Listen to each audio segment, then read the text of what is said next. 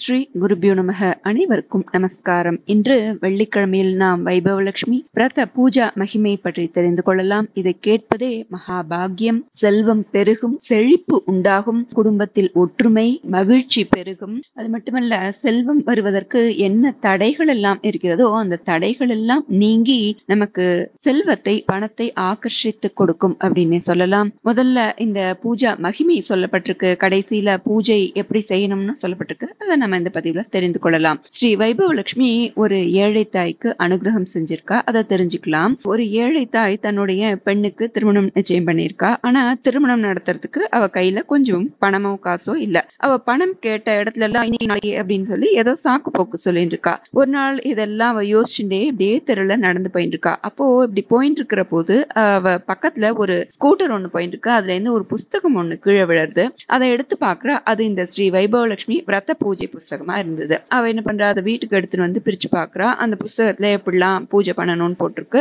இவளும் வறுமையில கஷ்டத்துல இருக்கா? சரி இந்த பூஜை பண்ணலாம்னு சொல்லிட்டு மறுநாள் வெள்ளிக்கிழமை பக்தியோட நம்பிக்கையோட அந்த பூஜையை செய்யறா நான்கு வெள்ளிக்கிழமை முடிந்தது. அவளுக்கு லட்சுமி கட்டாட்சம் கிடைத்தது. அந்த மகாராஷ்டிரா லாட்டரியில முப்பதாயிரம் ரூபாய் கிடைத்ததாம் அவளுடைய பெண்ணின் திருமணம் நன்றாக நடந்தது. வைபவலட்சுமியின் அருளால் அப்படின்னு சொல்லப்பட்டிருக்கு. அடுத்த கதையில சுரேஷ்னு ஒருவர் அவர் பிசினஸ் மேன் அவருடைய வியாபார வியாபாரமும் நல்லபடியா லாபத்தோடு நடந்துட்டு இருக்கு சந்தோஷமா இருக்கு. அப்படி இருக்கிற போது எதிர்பாராத விதமாக வியாபாரம் குறைந்து தொழில பெருத்த நஷ்டம் ஏற்பட்டது. அவருடைய மனைவி சரளா ரொம்ப மனோதைரியத்தோட குடும்பத்தை சமாளிச்சுன்னு வரா. அப்படி இருக்கிற போது சரளாவுடைய மாமி அவ வீட்டுக்கு வரா. ரெண்டு பேரும் பேசிட்டு இருக்கா. அப்போ அந்த மாமி சொல்றா ஏமா உன்னை பார்த்தா ரொம்ப கவலையா இருக்கிற மாதிரி இருக்கே. என்ன விஷயம்? அப்படின்னு கேட்க சரளாவும் தன்னுடைய கஷ்டத்தை மாமி கிட்டக்க பகிர்ந்துக்கிறா. உடனே அந்த மாமி அவளுடைய மாமி சொல்றா கவலைப்படாதம்மா. வைபவலட்சுமி விரத பூஜைன்னு ஒண்ணு இருக்கு. நீ அதை செஞ்சுன்னு வந்தா உன்னுடைய துன்பங்கள்லாம் காணாம போகும். தூர விலகும் அப்படின்னு சொல்றா. சரளாவும் சரி அதை எப்படி செய்யணும்னு கேட்க கடையில ஸ்ரீ வைபவலட்சுமி புஸ்தகம்னு கிடைக்கும். அஷ்டலட்சுமி படம் வைபவலட்சுமி யந்திரம்லாம் இதற்கு கிடைக்கும். நீ அதை வாங்கி அதுலயே பூஜை முறைகள் போட்டிருக்கும். நீ அதை பார்த்து பூஜையை செய்ய தொடங்குன்னு சொல்றா. சரளாவும் அடுத்த வெள்ளிக்கிழமையிலேயே பூஜையை செய்ய தொடங்குறா. அன்று மாலை அன்னைக்கு காலம்பர அவ செய்யறா அன்னைக்கு சாயங்காலமே அவருடைய கணவருக்கு சுரேஷ் கம்பெனில இருந்து திரும்பி வர. ரொம்ப சந்தோஷம் வீட்டுக்கு திரும்பி வர்றார். காரணம் ஒரு பெரிய வியாபார தொடர்பு ஒப்பந்தம் அவருக்கு கிடைச்சது. தன்னுடைய மனைவிட்ட வந்து அதை பகிர்ந்துக்கிறார். அவளுக்கு ரொம்ப சந்தோஷம். தொடர்ந்து அந்த அவருடைய மனைவி சரளா இருபத்தோரு வெள்ளிக்கிழமை இந்த வைபவலட்சுமி பூஜை செய்து முடித்து நூத்தி ஒரு பேருக்கு அந்த ஸ்ரீ வைபவலட்சுமி புத்தகம் வாங்கி கொடுத்து எல்லோருக்கும் இந்த புஸ்தகமும் அத்துடன் பிரசாதமும் கொடுக்கிறாள். சுரேஷ் சரளா குடும்பத்துல அதுக்கப்புறம் கஷ்டம்ன்றதுக்கே அறிகுறி இல்லையா? துக்கத்துக்கும் துன்பத்துக்கும் இடமே இல்லாம போச்சா? எல்லாமே இந்த வைபவலட்சுமி அருளால் மகிமையால் அப்படின்னு சொல்லப்பட்டிருக்கு. இதுக்கு மட்டுமல்ல கல்வி செல்வம் மன நிம்மதி குடும்ப ஒற்றுமை இப்படி எல்லாவற்றிற்கும் துக்கத்தை போக்கடிப்பதற்கு ஸ்ரீ வைபவலட்சுமி விரத பூஜையை செய்து அருள் பெறலாம்னு சொல்லப்படுது. இன்னொரு விரத பூஜை கதையும் சொல்லப்பட்டிருக்கு. வட இந்தியால ஷீலான்னு ஒரு தம்பதியர். அவங்க பெரிய செல்வந்தர்கள். ஆஹ் செல்வந்தர்களா இருந்தாலும் ஆன்மீகத்திலே பூஜை புனஸ்காரம்னு எல்லாத்துலயும் அதிக ஈடுபாடு இருந்தது. குறிப்பா வட இந்தியா நார்த்துனாலே மகாலட்சுமி பூஜை செய்வார்கள். இல்லையா? அது போல இவர்களும் அன்னை மகாலட்சுமி பக்தர்கள் வீட்டுல பூஜை பஜனை இல்லாம கோவிலுக்கும் போய் கோவில்லையும் பூஜை பஜனையிலையும் எல்லாவற்றிலையும் அவர்களும் செய்வார்கள் கலந்து கொண்டு அதுல பங்கேற்பார்கள். இப்படி இருக்கிற போது அவர்கள் குடும்பம் செல்லும் குவிந்திருந்துன்னு சொல்லலாம். பெரிய பணக்காரர்கள் துன்பம்ன்றதை அவர்கள் அறிந்ததே இல்ல. ரொம்ப சந்தோஷமான வாழ்க்கை. இங்க ஷீலாவுடைய கணவர் நல்ல முதலாளி நல்ல வியாபாரி. இந்த குடும்பத்தை அந்த ஊர்ல உள்ளவர்களே மெச்சக்கூடிய அளவு எல்லாருக்கும் ஒரு எடுத்துக்காட்டா லட்சியமா லட்சிய குடும்பமா தான் அந்த குடும்பம் இருந்துதான் எல்லாருக்கும் அவர்கள் மேல மதிப்பு மரியாதை அப்பேற்பட்ட குடும்பமா அவர்கள் இருந்தார்கள். அப்போ அந்த குடும்பத்துல திடீர்னு மாற்றம். என்ன செல்வம் வந்தா அதோட சில கெட்ட குணங்களும் வருது இல்லையா? அது போல திருஷ்டி பட்டாப்ல என்னாச்சு? விதி விளையாட தொடங்கியது. ஷீலாவுடைய கணவர் தன்னுடைய நல்ல குணத்திலிருந்து தவற ஆரம்பித்தார். தீயவர்களோட பழக்கம் மது சூதாட்டம் குதிரை பந்தயம் இப்படி பல தீய செயல்கள்ல ஈடுபட்டார். அதன் விளைவு என்னாச்சு? செல்வம் படிப்படியா குறைய ஆரம்பிச்சது. செல்வம் குறைந்தா மகிழ்ச்சியும் குறைஞ்சிடும் இல்லையா? அது போல மகிழ்ச்சியும் குறைய ஆரம்பித்தது. அன்னை மகாலட்சுமி இல்லாத அந்த இடத்துல தரித்திரம் வறுமை தாண்டவமாடியது இருள் சுழ ஆரம்பித்தது. மகிழ்ச்சின்றதை துளியும் இல்ல. ஷீலா ரொம்ப வருத்தத்துல துக்க கடல்லையே மூழ்கினான்னு சொல்லப்படுறது ரொம்ப வருத்தமான அந்த சூழ்நிலையில ஷீலா எவ்வளவோ தன்னுடைய கணவனை திருத்தறதுக்கு முயற்சி எடுக்கிறா. ஆனா அவன் கொஞ்சமும் அதுக்கு சட்ட பண்ணல திருந்தறதாவே இல்ல. அவளோட எந்த ஒரு அறிவுரைகளையும் அவன் காதுல போட்டுண்ட மாதிரியே இல்ல. தன் கையில கிடைக்கக்கூடிய பணத்தை எல்லாம் விரயம் செஞ்சுட்டே இருக்கான். ஆனாலும் ஷீலா கொஞ்சமும் மனம் தளரல. இந்த ஏழ்மை நிலையும் கண்டிப்பாக மாறும். சொல்லி தன்னம்பிக்கையோட இருக்கா.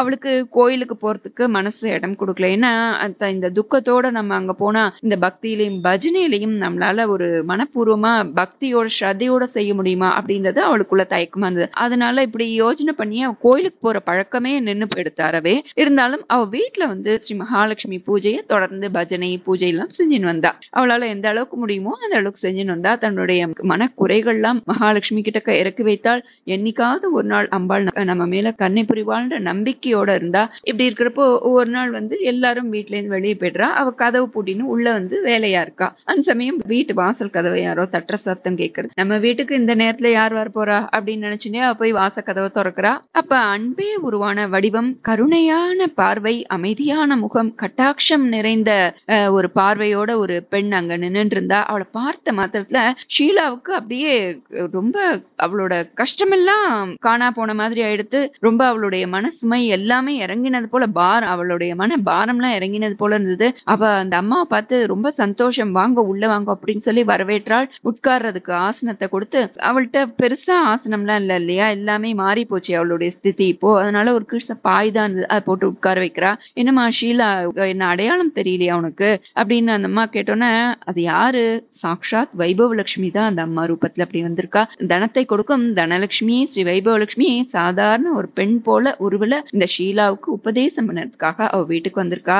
ஷீலா அம்மா உங்களை எனக்கு அடையாளமே தெரியலையே. உங்களை நான் இது வரைக்கும் பார்த்த மாதிரியே எனக்கு தெரியலையே அப்படின்னு சொல்றா. நீ மறந்து போயிட்டியா? ஒவ்வொரு வெள்ளிக்கிழமையும் ஸ்ரீ மகாலட்சுமி கோயிலுக்கு நீ வருவாயே. பூஜை பஜனை எல்லாம் கலந்துப்பியே. இப்போ நீ பூஜையிலயோ பஜனையிலயோ கலந்துக்கிறதே இல்ல நடத்துறதும் இல்ல. ஏன் என்னாச்சு? நீ அங்க வரபோதெல்லாம் நானும் அங்க வந்திருக்கேன். உன்னை பலமுறை நான் பார்த்திருக்கேன். ஏன் இப்போ அங்க நீ வரதில்ல? என்ன ஆச்சு உனக்கு? அங்க வரலன்றதுனால தான் நான் உன்னை பார்க்க வரலான்னு சொல்லி வந்தேன். நீ எப்படி இருக்கம்மா? என் கணவர் எப்படி இருக்கார்? குழந்தை எல்லாம் எப்படி இருக்கா? அப்படின்னு சொல்லி கேட்க ஆஹ் அவளால தாங்கிக்கவே முடியல. அந்த அம்மா கேட்க பேச பேச அவளுடைய மனசெல்லாம் உருகி போய் தன்னால தாங்க முடியாம தன்னுடைய கஷ்டத்தெல்லாம் அப்படியே கொட்டிடுறா. அந்த அம்மா கிட்டக்க தன்னுடைய திடீர் ஏழ்மை கணவனுடைய குண மாறுதல்கள் கெட்ட பழக்கம் எல்லாத்தையும் இந்த அம்மாட்ட சொல்லி ரொம்ப தன்னுடைய ஸ்திதியை எடுத்து சொல்றா அம்மா ஷீலா நீ அழாதம்மா. வாழ்க்கையில துக்கம்னு வந்தா நிச்சயம் ஒரு பெரிய சுக்கம் காத்துன்னு இருக்கு துன்பமும் இன்பமும் மாறி மாறி வரதுதாம்மா வாழ்க்கை. துன்பம் வரும்போ நீ மனம் தளராம பகவான் மேல பாரத்தை போட்டுட்டு நீ பக்தி செய்யணும் தொடர்ந்து.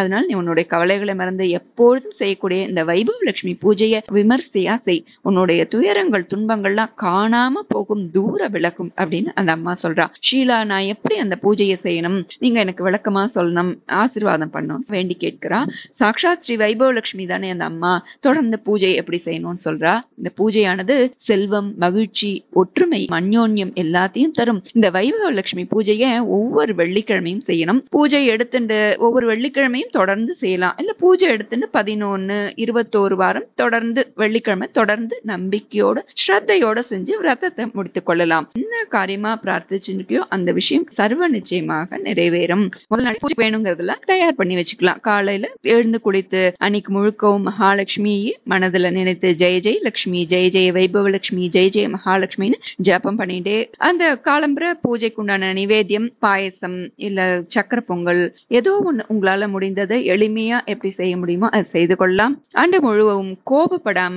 அதிகமா பேசாம இந்த வைபவ லட்சுமி ஜெய ஜெய வைபவ லட்சுமின்றதை ஜபம் செய்துக்கலாம். உபவாசம் இருக்கணும். நான் வந்து நிறைய விரதம் ஏகாதசி சதுர்த்தி திருவோணம் இது போல நிறைய விரதம் இருக்கேன். இதுவும் அடிஷ்னலா சேர்ந்தா எனக்கு கஷ்டம். அப்படின்னு நினைச்சா நீங்க விடிய காலம்புற பிரம்ம முகூர்த்தத்துல அஞ்சுல இருந்து ஆறுக்குள்ளயோ அந்த மாதிரி நீங்க இந்த பூஜை செய்துக்கலாம். அப்போ நீங்க உபவாசத்தை நீங்க எதுவும் சாப்பிடாம இந்த பூஜையை செஞ்சுட்டு பூஜை பிரசாதத்தையே நீங்க எடுத்துட்டு அதுக்கு போல நித்தியமா நீங்க சாதாரணம் போல அன்னைக்கு இருந்துக்கலாம். உபவாசம் இல்லாம இருந்துக்கலாம். சாயங்காலமும் இந்த பூஜையை செய்யலாம். காலம்பர பிரம்ம முகூர்த்தம் தொடங்கி ஆறு மணிக்குள்ள செஞ்சுக்கலாம். இல்ல சாயங்காலம் ஆறு மணிக்கும் விளக்கேட்டு இந்த பூஜையை செய்யலாம். ஒரு மணப்பலகையை போட்டு அதுல கோலம் போட்டு போட்டு காவிட்டுக்கணும் ஒரு தாம்பாளம் வச்சு அதில் ஒரு டம்ளர் அரிசி போட்டுக்கணும். அது மேலே ஒரு சொம்பு வெள்ளி சொம்பு அல்லது பித்தளை வெங்கலம் எது வேணா இருக்கலாம். அந்த சொம்புல தீர்த்தம் வச்சு அதில் ஏலக்காய் கிராம்பு குங்குமப்பூ பச்சை கற்பூரம் இதில் எது முடியுமோ இல்லை எல்லாமும் போட்டுக்கலாம்.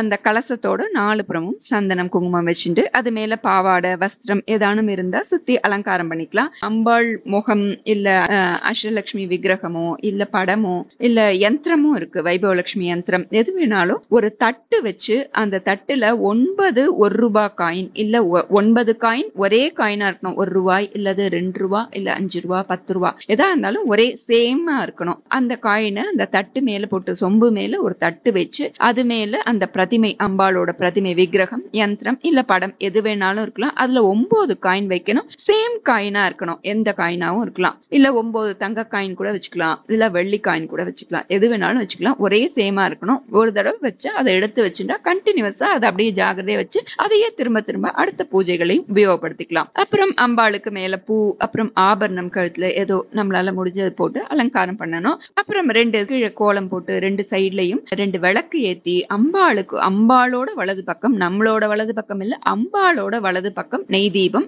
அம்பாளோட இடது பக்கம் நல்லெண்ணெய் தீபம். உங்களால முடிஞ்சா நெய் தீபம் ஏத்தலாம். என்னால முடியாதுன்னா ரெண்டு பக்கமே நல்லெண்ணெய் தீபமே ஏத்தலாம். ஆனா நல்லெண்ணெய் தீபத்துல நெய் விட்டு கலந்து ஏத்த வேண்டாம் அப்படின்னு சொல்லப்பட்டிருக்கு. அப்புறம் ரெண்டு செட்டு வெத்தலை பாக்கு பழம் எடுத்துக்கணும். அப்புறம் நெய்வேத்தியமா பாயசம். எந்த பாயசம் வேணாலும் வச்சுக்கலாம். அவள் பாயசம் எளிமையா செஞ்சுக்கலாம். இல்ல என்னால எதுவுமே முடியலன்னா அன்னம் போட்டு பால் நெய் சக்கரை போட்டு கலந்து வச்சுக்கலாம். வேற ஏதாவது சக்கரை பொங்கல் வேற ஏதானும் செய்யலாம். தாராளமா செய்து கொள்ளலாம். எந்த புஷ்பம் கிடைக்கிறதோ அதை எடுத்துக்கலாம். நிறையாவும் வச்சுக்கலாம். என்னால எனக்கு இன்னைக்கு இவ்வளவுதான் முடியறது. ரொம்ப குறைச்சலா தான் கிடைக்கிறதுன்னா அதுவும் பரவாயில்ல வச்சுக்கலாம். வில்வம் வந்து லக்ஷ்மிக்கு ரொம்ப விசேஷம். அதனால வில்வம் கிடைச்சா வில்வமும் வைத்து பூஜிக்கலாம். அப்புறம் அர்ச்சனை வந்து பூ போட்டு அர்ச்சனை பண்ணலாம். குங்குமம் போட்டு அர்ச்சனை பண்ணலாம். மஞ்சள் பொடி போட்டும் பண்ணலாம். குங்குமம்ன்றது அம்பாளுக்கு கொஞ்சம் லேசா எரிச்சலை கொடுக்கும் அப்படின்றதுனால மஞ்சள் பொடி பண் போட்டு பண்றது அதுல அஷ்டோத்திரம் இருக்கும். அது போட்டு அர்ச்சனை செய்யறது ரொம்ப விசேஷம் அப்படின்னு சொல்லப்பட்டிருக்கு. காலம்பர அஞ்சு டு ஆறு மணி அல்லது சாயங்காலம் ஆறு மணிக்கு பூஜை செய்யறது ரொம்ப விசேஷம். மாவிளை கொத்து கிடையாது. குழப்பிக்க வேண்டாம். மாவளை கிடையாது. அர்ச்சனை கலசத்துக்கு தான் பண்ணணும். விளக்கு விளக்குக்கு இல்ல விளக்கு பூஜை இல்ல இது. இது அர்ச்சனை அம்பாள் அந்த கலசத்துல இருக்கா. மேல பிரதிமை வச்சிருக்கோம். அந்த கலசத்துக்கு தான் நம்ம இங்க அர்ச்சனை பண்றோம். ஸ்ரீ வைபவலட்சுமியை மனசுல தியானம் பண்ணிட்டு அம்பிகை இந்த கலசத்துல யந்திரத்துல இருக்கிறதாக பாவித்து கொண்டு அம்பாளுக்கு வேண்டிய க்ஷோடச உபச்சாரங்கள் தியான ஸ்லோகம் பூஜை எல்லாம் செய்யணும். இந்த பூஜா புஸ்தகத்திலேயே உங்களுக்கு அதுக்கு உண்டான எல்லாமே கொடுத்துருக்கு. அதை பார்த்து செய்து கொள்ளலாம் நீங்க. அந்த கலசத்துக்கும் ஒரு வஸ்திரம் கீழே சாத்தலாம். அதை சுத்தி வெளியே ஒரு பிளவுஸ் பிட்டும் சாத்தலாம். இந்த வஸ்திரம் இந்த காசு அதை எல்லாத்தையும் எடுத்து வச்சுட்டு திரும்பவும் அதையே அடுத்த வாரத்துக்கும் உபயோகப்படுத்திக்கலாம். ஒரே வஸ்திரம் ஒரே அந்த காயினையே உபயோகப்படுத்திக்கலாம். பூஜை செஞ்சு முடிச்ச உடனேயே அதை கலைக்க வேண்டாம். ராத்திரி அன்னைக்கு வேலைகள்லாம் முடிஞ்ச உடனே அந்த கலசத்துல உள்ள தீர்த்தத்தை எடுத்து நம்மளும் எடுத்துட்டு பிரசாதத்தை எல்லாருக்கும் கொடுத்துட்டு வீட்ல எங்க பார்த்தாலும் தெளிச்சுட்டோ மறுநாள் அதை தீர்த்தத்துல விட்டு குளிக்கலாம். இல்ல துளசி செடியில விட்டுலாம் அரிசிய அரிசி பானையில போடலாம். இல்ல மறுநாள் சக்கரை பொங்கல் ஏதானும் ஸ்வீட் செஞ்சு அதுல செய்துக்கலாம். இப்படி இந்த ஸ்ரீ வைபவலட்சுமியை முறையாக பூஜித்து தான் மட்டும் இன்பம் பலன் அடைவதோடு எல்லாரையும் இந்த பூஜையில ஈடுபடுத்தினா அம்பாள் மனம் எல்லோருக்கும் அருள் புரிவாள்னு அம்பாள் விஸ்தாரமாக வந்திருந்தாலே அந்த பெண்மை எல்லாத்தையும் சொல்லி முடிக்கிறா. ஷீலாவுக்கு அதை கேட்டோன்னு ரொம்ப சந்தோஷம். அம்மா நீங்க சொன்னபடியே நான் இந்த வைபவலட்சுமி பூஜிக்கிறேன். நீங்க தான் எனக்கு ஆசீர்வாதம் பண்ணணும் அந்த பெண்ணும் அந்த ஷீலாவை ஆசிர்வதித்து இந்த வைபவலட்சுமி புத்தகத்தை விரதம் முடிக்கிற போது பதினொன்று இருபத்தொன்னு ஐம்பத்தொன்னு நூத்தி ஒண்ணுன்னு உங்களால முடிஞ்ச அளவுக்கு தாம்பூலத்துல வைத்து இந்த பிரசாதத்தோடு எல்லாருக்கும் மனப்பூர்வமாக அதை கொடுக்கணும். உங்களுக்கு சர்வ நிச்சயமாக வைபவலட்சுமியின் அருள் கிடைக்கும் அப்படின்னு சொல்லி ஆசீர்வாதம் பண்றா அதை கேட்டோன்னே ஷீலாவுக்கு தன்னுடைய துக்கமே காணா போய் மறைஞ்சு போன மாதிரி இருந்தது. மகாலட்சுமியே பக்தையாக வந்து அவளுடைய துயரத்தை துடைக்க எண்ணி சாதாரண ஏழை பெண் வேடத்தோட அவளுக்கு வந்து இந்த பூஜையை உபதேசித்திருக்கிறாள். ஷீலாவுக்கு மட்டுமல்ல ஷீலா போன எல்லாருமே இந்த பூஜையை செய்து இன்பம் அடைவதற்காக கஷ்டங்கள் நீங்குவதற்காகவே சொல்லப்பட்டிருக்கிறது இது. மறுநாள் வெள்ளிக்கிழமை உடனே ஷீ ஷீலா ஸ்ரத்தையுடன் நம்பிக்கையுடன் பக்தியுடன் அம்பாள் சொன்னபடியே அதான அந்த அம்மா சொன்னபடியே பூஜையை செய்ய ஆரம்பித்தாள். அவளுக்கு சிரமமா இருந்தாலும் தொடர்ந்து அதை செய்து வந்தாள். என்ன ஒரு ஆச்சரியம். அவளோட குடும்பம் சில நாட்கள்லயே பழைய நிலைய ஆரம்பிச்சது. இது வந்து ஒரு சாதாரண வார்த்தைக்காக சொல்லல சர்வ நிச்சயம் சத்தியம் அப்படின்னே சொல்லலாம். அதனால் பலனடைந்தோர் பல அவளுடைய கணவன் கெட்ட குணங்கள்ல இருந்து திரும்பி பொறுப்பாக நடந்து கொண்டான். குடும்பத்துல செல்வம் மகிழ்ச்சி பெருகியது. அவளோட மனது முழுவதிலும் அமைதி நிலவியது. ஷீலாவுடைய வீட்டுல பக்கத்துல இருக்கிறவாள்லாம் அவளுடைய ஏழ்மை நீங்கினதை பார்த்து வியப்படைந்தார்கள். எல்லாரும் அவளை வந்து விசாரிக்கிறா. ஷீலாவும் இந்த வைபவலட்சுமி விரத்த பூஜா மகிமையை விவரமா சொல்றா. அவர்களும் அதை தொடர்ந்து செய்ய தொடங்கினார்கள். முன்போல் எல்லோரும் ரொம்ப விமர்சையா அந்த மகாலட்சுமி கோவிலுக்கு போய் பூஜை பஜனை எல்லாம் செய்தார்கள். அந்த நகரமே திரும்பவும் லட்சுமிகரமாக ஆனது. ஏன் யோசிக்கணும்? நாமளுமே எல்லோருமே இந்த வைபவலட்சுமி பூஜையை செய்ய தொடங்கலாம். நமக்கும் அன்னை மகாலட்சுமி அன்னை வைபவலட்சுமி ஏதோ ரூபத்தில் வந்து நமக்கும் காட்சி தந்து அருள் செய்வாள் என்பது சர்வ நிச்சயம். ஓம் ஜெய ஜெய ஜெய சக்தி. ஓம் ஸ்ரீ ஜெய ஜெய ஜெய சக்தி. ஜெய ஜெய அனுதினம் பாடி பணிந்தோம். ஜகமெங்கும் அமைதியை தா ஓம் ஜெய ஜெய ஜெய சக்தி. திருப்தி திருப்தியும் இன்பமும் வாழ்வில் துளங்க தேவையெல்லாம் அடைய. அம்மம்மா தேவையெல்லாம் அடைய. பக் பக்தி பெருகிட பாடி உருகிட பணிப்பாய் அன்பிலமை. ஓம் ஜெய ஜெய ஜெய சக்தி. இரண்டுகள் போக மூன்றுகள் அகல. ஈஸ்வரி வரமருள்வாய் அம்மம்மா.